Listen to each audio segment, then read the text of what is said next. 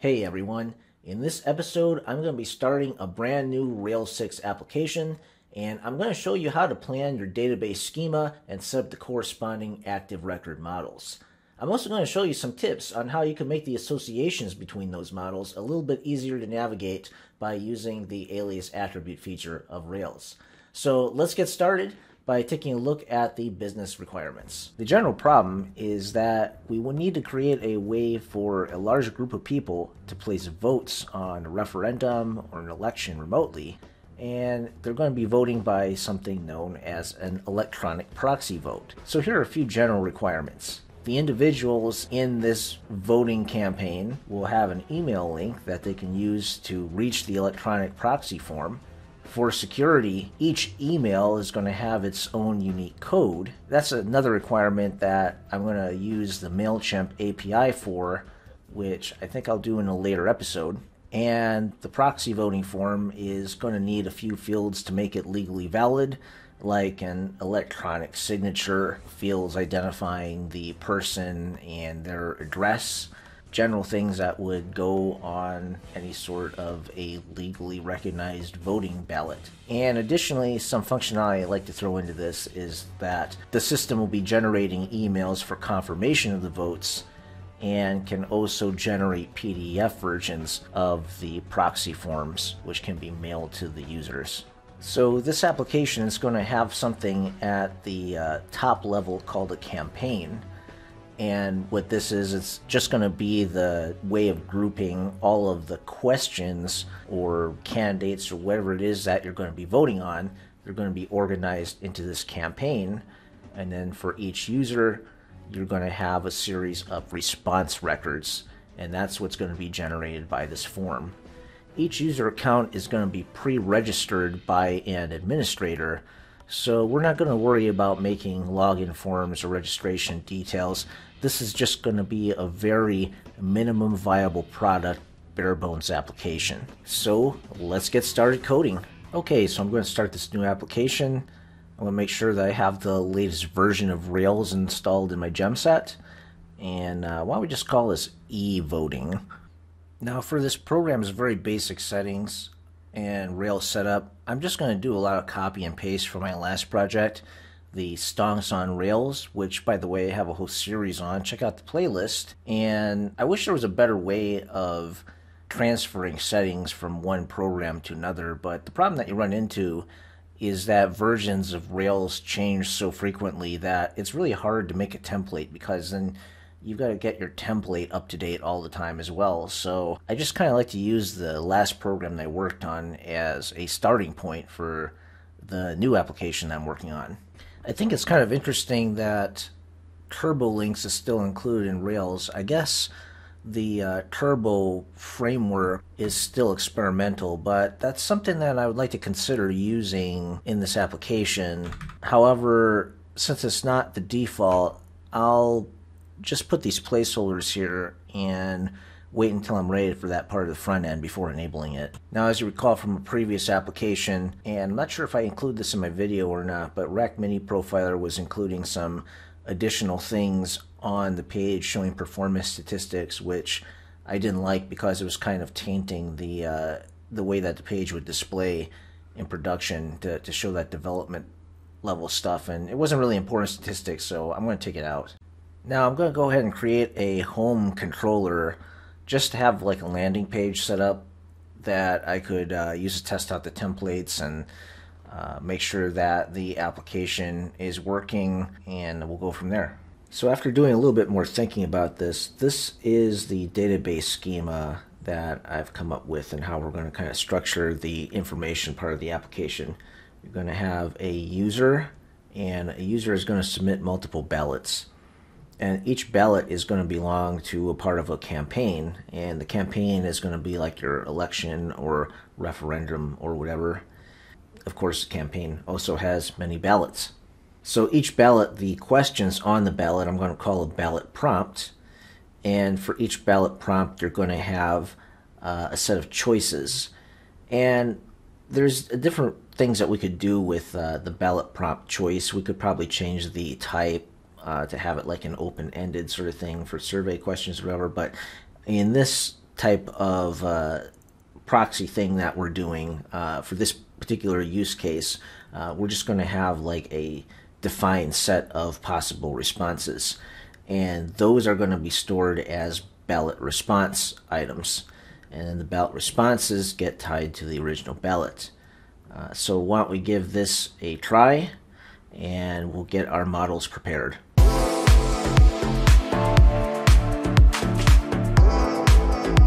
No, the data models I mean, of course. Okay, we could see here in our file system that the models have been created by our command line commands. And here's the database migrations that create the underlying data tables. Something that I like to do before running my uh, first uh, database migration is I like to run through all these files and make sure that I didn't make any mistakes or if I want to add any little default settings, I could go ahead and do that. For example, I want to have a database level protection here that will make sure that you can't have a null title on the campaign, that the campaign title has to be filled out. So we're going to do null false. Okay, so now I'm going to go ahead and run the migration and uh, we'll go from there and try to play around with the data. Uh, looks like I made a typo.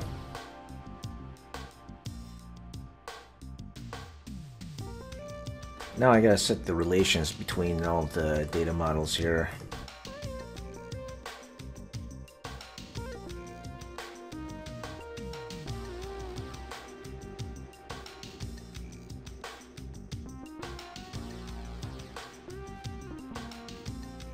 So another thing that I forgot that I would want to do is I would want to associate a user with a campaign so that you can't have other users voting in campaigns where they don't belong. So let's go ahead and create a campaign users model that's going to be the uh, many-to-many.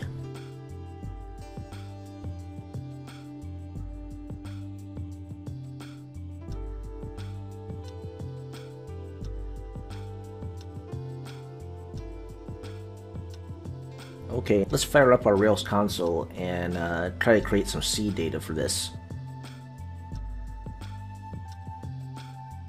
So that's created. So uh, let's go ahead and assign that user to it.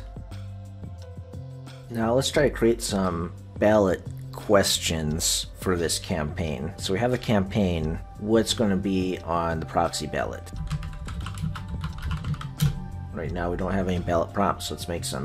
Alright, so we'll just uh, create like an election question here. Who would be the president of Minecraftia? And let's go make some choices for this. Alright, so Waddles will be our first selection. And by the way, we could make a shorthand for this so that we don't have to retype this lengthy ballot prompt choices again. Let's go ahead and do that. So instead of ballot prompt choices, we could do alias choices to ballot prompt choices, and then we could access that by choices. So reload our models, and let's uh, let's pull up the campaign again.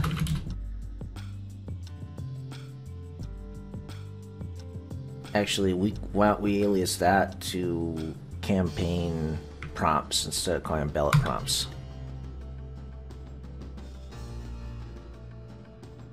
And now we don't have to do ballot prompts anymore, just do prompts. There we go. So the prompts and we'll do the first prompt and let's see what sort of choices we get. Alright, so we have waddles. Let's create some more choices.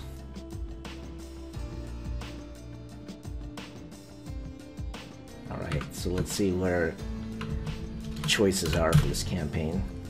Alright, so these would be our selections on the ballot. So now let's say that our hypothetical user wants to submit a ballot and we're going to create that. So how what's that data model going to look like? So we have our uh, first user here. There's no ballots yet, so we're going to create a ballot. No campaign associated with that yet. Now, let's add some validation. Is this ballot, ballot valid?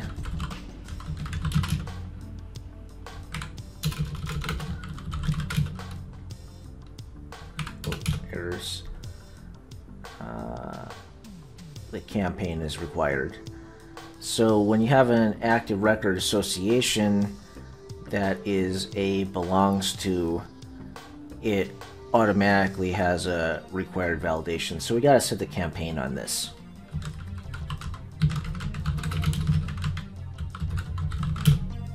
All right. And now for our responses. Okay, so these, uh, when we look at the, when we look at the choices and the ballot question, each choice in the database is going to have a unique ID. And so the response will point to the choice ID number. Is that an optimal design for this? I don't know, but we're going to give it a try. So you might be wondering why did I name all these models ballot this and ballot that if I'm just going to alias the relations anyway? Well, that's because I felt that having, if you want to call like just uh, the table responses and have the model just be named response, uh, I'm not really sure. Uh, to me, that just doesn't feel descriptive enough because I don't know how big this application might grow over time, so I like to be specific in when I'm naming things. And another way that you could probably work with this is to uh, namespace all of these ballot related things. And that way you'd, you'd have a, a folder here for ballot, and then the, in the ballot namespace you'd have response, prompt choice, prompt, and uh, and then the model names will be simpler, but the underlying database tables will be the same name. However, uh, this is uh, one way to do it uh, using alias attribute and uh, just having kind of a repetitive model name, and I don't know that works for me.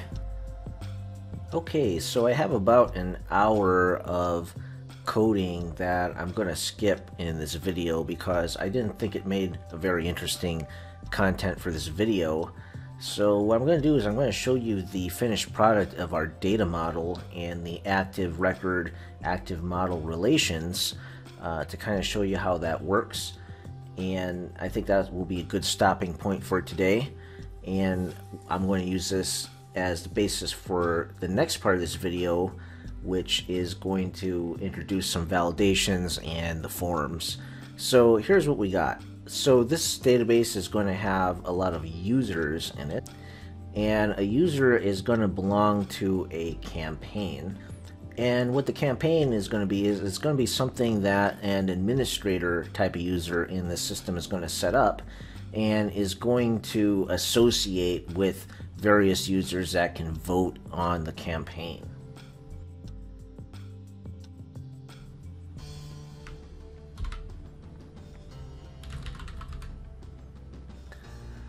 So here's what a campaign is going to look like. You're going to have a series of questions associated with that campaign, which I guess would be like who who is your who are you voting for? What is the office that the person is running for? Uh, you know what what is the material being voted on? So you could have a series of questions, and I call them prompts for the purpose of this because I, I, was thinking like a prompt is like the command prompt on the computer. It's kind of like asking you a question.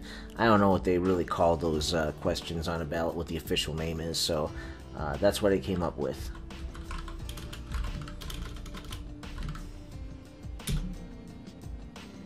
So here in this campaign, we have one question that's acting as a prompt that will be shown on the quote ballot Now, each prompt is going to have like a multiple choice associated with it, and that's going to be the possible answers that you could have to a prompt. And maybe down the line we could change this so that uh, the choices you could have different types of choices. Like you could have like a an open-ended sort of choice, uh, but basically for the purpose of what this is going to be, which is going to be like a proxy voting type of application, uh, you're going to want to have a set number of selections that users can select from. you know, maybe, maybe there could be a write-in one someday, but uh, we're not focusing on that right now for this minimum viable product. Now, one of the reasons that I wanted to have the choices as a uh, separate table is because it'll, it'll allow you to associate more than one choice to uh, the response. So, certain types of questions, you might say pick two candidates that are your top two or your top three candidates. In a lot of cases, it's just going to be one. And that's where validation is going to come into play. So we'll write a validator for that in the next video. So basically, this campaign.prompts and the prompt choices, this is what we're going to use to build the form that a user sees when they log into the system with a unique code and they're viewing the particular form that they're going to fill out for this campaign as their proxy. Now, the other end of that is when the user makes their selections and they hit that submit button, what it's going to do is it's going to create something called a ballot. And each user for a campaign is allowed to have one ballot. So as you can see here, the ballot's associated with both the user ID and the campaign ID. And we will use validation to ensure that there's only one per user and campaign. And now here is where the responses are going to get recorded.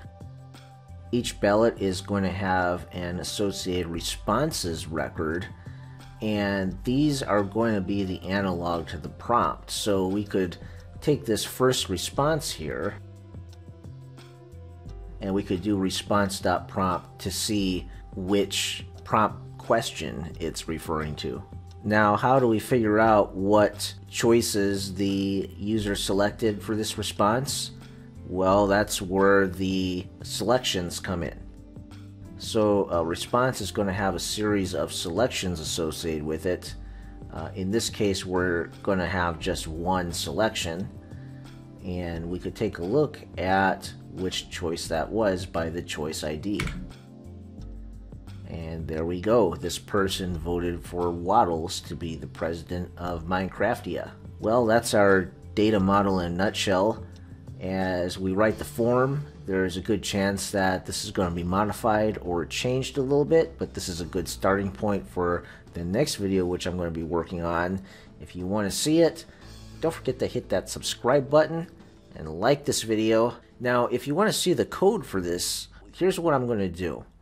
I'm going to start a Patreon tier, and if you want to buy me a cup of coffee, then just sign up for that Patreon tier and then I'll send you the GitLab link where I'm going to be posting the code for this application and you could take a look at it there. I guess I'll see you next time.